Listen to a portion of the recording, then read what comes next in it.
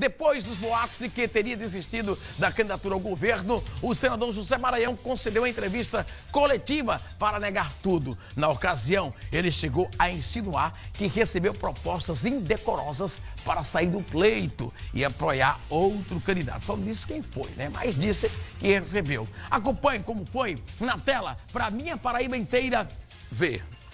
O pronunciamento foi marcado de expectativa. Para uma plateia de militantes e já em clima de campanha, o candidato José Maranhão, do MDB, classificou como boato implantado a possível desistência da candidatura. Enfático, o senador paraibano fez questão de declarar que está bem de saúde.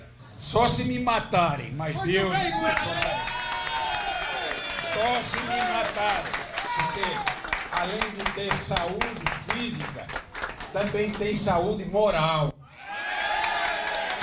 Ao lado dos companheiros de chapa, José Maranhão aproveitou para criticar os opositores, declarando que recebeu investidas para que desistisse do pleito. Se fosse aceitar as propostas que me fizeram, significaria a quebra de toda uma história que tem me valido sempre continuar com a confiança e o respeito de todos os paraibanos. Havia também a expectativa de que novas adesões fossem anunciadas, mas não houve novidades. É porque nesse período eleitoral qualquer comentário a gente pode se prejudicar, né? Eu prefiro ficar calado, é melhor, né? É verdade? Vamos conferir agora a agenda dos candidatos.